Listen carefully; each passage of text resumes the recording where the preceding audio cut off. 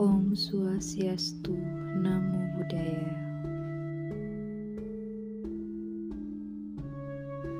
Candi Tikus merupakan candi peninggalan Mojopahit yang ditemukan di Dukuh Dinuk, Desa Temon, Kecamatan Trawulan, Kabupaten Mojokerto.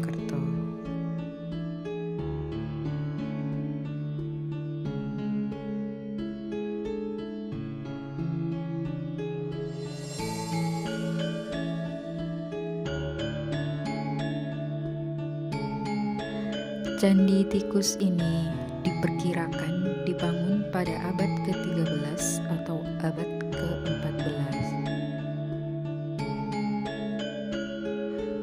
Di dalam kitab Negara Ketagama, Empu Prapanca mengatakan bahwa dulunya candi ini adalah tempat pertitraan atau pemandian serta tempat upacara raja-raja terdahulu.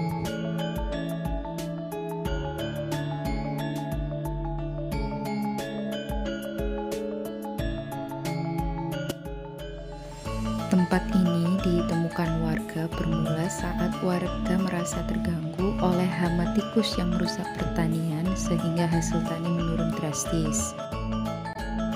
Warga setempat pun akhirnya membersihkan gundukan tersebut lalu membongkar dan temukanlah candi tikus ini.